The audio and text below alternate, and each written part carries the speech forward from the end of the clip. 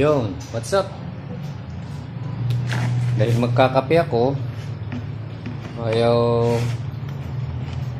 gumana itong ating electric uh, kettle. So, gawin na lang natin.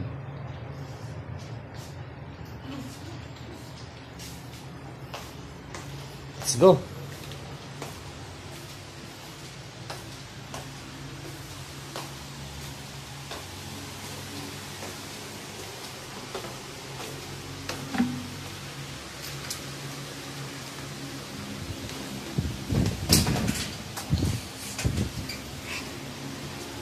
Yun.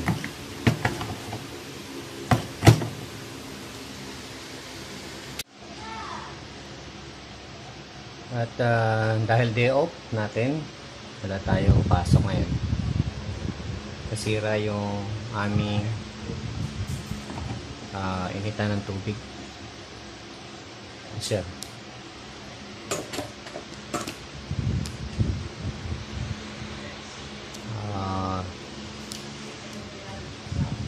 I-repair na lang natin to. Hindi tayo makapag ano eh. Makapag kape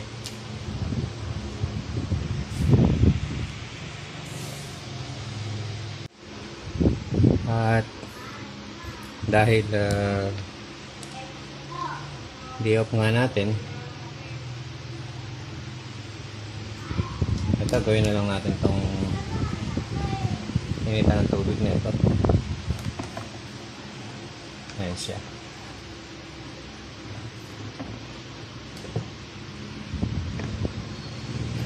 Ngayon, sa mga DIYers, pag meron kayong ganito issue, i-check nyo muna yung cord. Ito.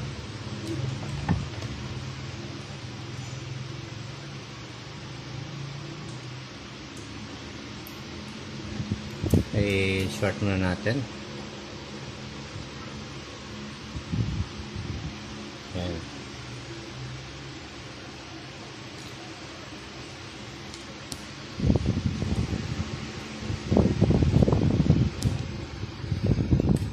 naka range extend tayo. Sukatin nyo yung, yung resistance ng filament no? Ayan, i-on natin. So, meron naman. Uh, meron kayo masusukat na 300 ohms. No? Kaya lang problema nito, dire-diretso ang umiinit, ayaw mag-auto auto off. So, good yung ating filament. Ngayon, i-check ninyo kalimitan nito yung yung contacts nito dito eh.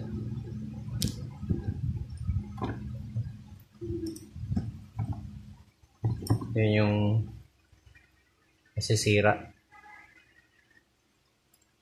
o nati-dislocate yung kanyang pinaka contactors ang nangyayari hindi na siya nag-auto so yun lang muna ang basic tip check nyo mga ka-DIYers mga may hilig mag-DIY ito ay basic pero kakapulutan ng idea para sa mga nag-uumpisa pa lamang.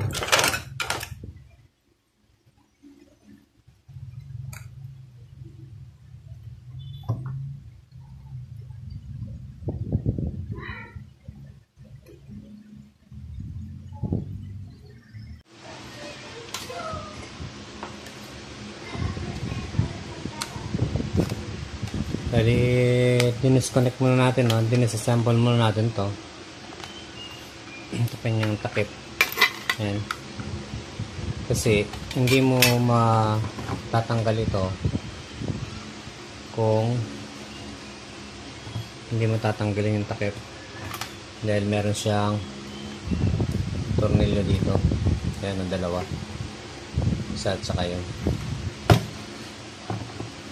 Para magkaroon tayo ng access tatanggalin yung takip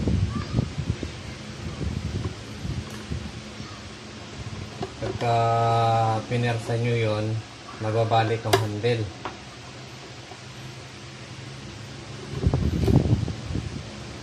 Ayan o ayan siya. Magkasama siya.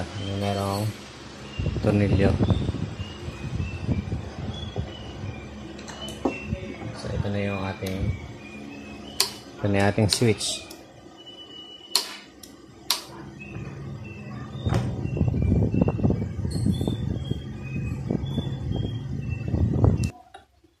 ito tanggalan natin yung switch. Check nyo. So i-adjust natin yan para sa auto off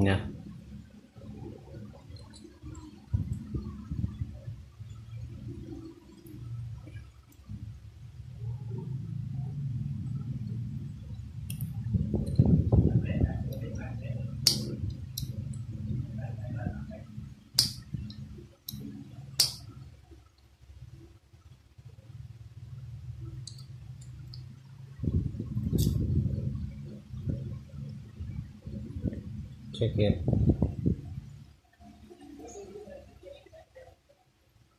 puro kalawang na oh.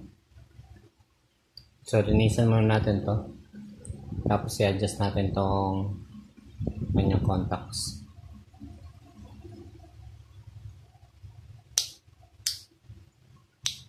Para sa pag-push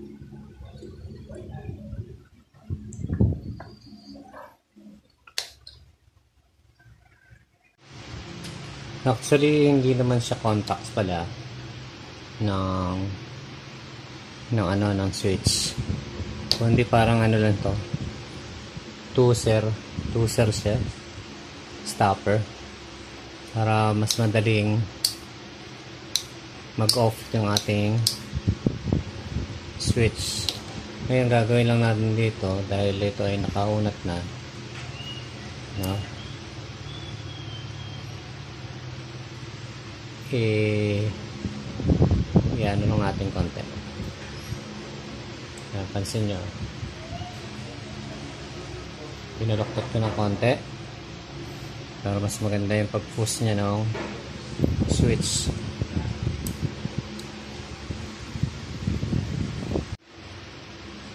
Okay ito na siya. 1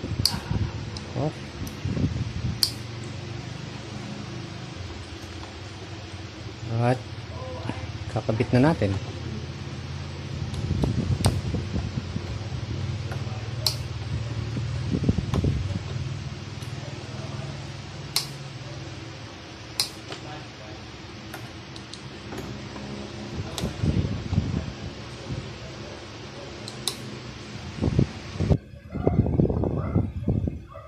Okay, kabit na.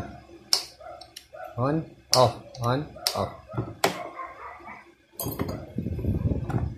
Ang ina, sinukat natin yung resistance ng filament. So, naka-range siya ng X10. May na-measure tayo na 300 ohms, about 300 ohms. Ngayon, sa mga DIYer, kapag wala kayo na measure na resistance na 300, posibleng may problema sa fuse and filaments. So, yun ang inyong i-check. Dito, sa case na to, good naman yung kanyang filament. Ang problema niya yung kanyang switch. No?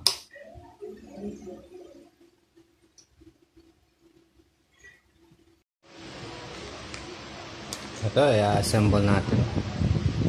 So, Ito yung pagkabit niyan. Ayan.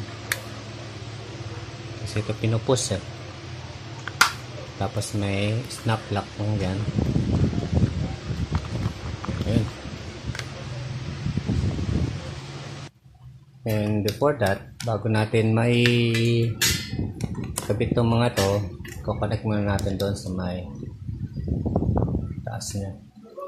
So ito. Connect mo ganyan. Then meron dalawang ah, terminals dyan ng tornilyo. Ayan. Na siya. Tapos ito, susunod natin.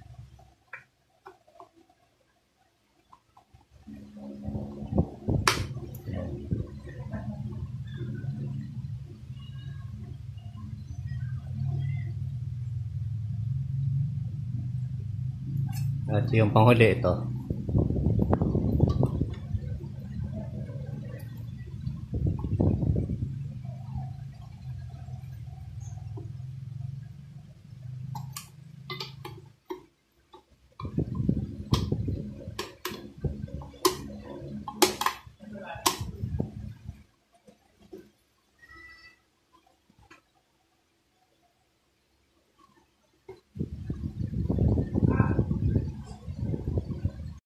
Ayun.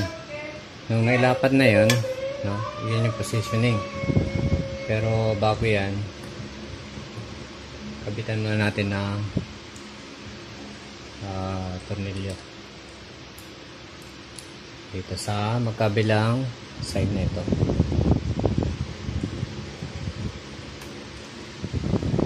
Tama ba? Sorry. Ah, sasabay na natin.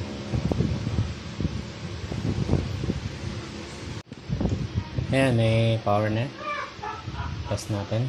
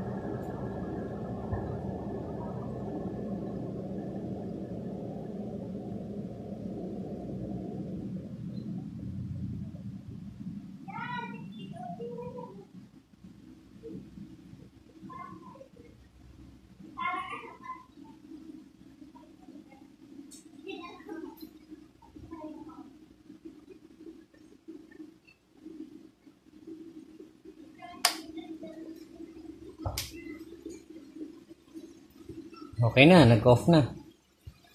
So, success yung ating ah paglinis doon sa pinaka tooser ng ano, switch. So, doon sa mga ka-DIYers, yan. Pwede nyo gawin yun. Yung simple and basic procedure. How to repair ng ating electric kettle. Once again, thank you very much and have a nice day. Bye.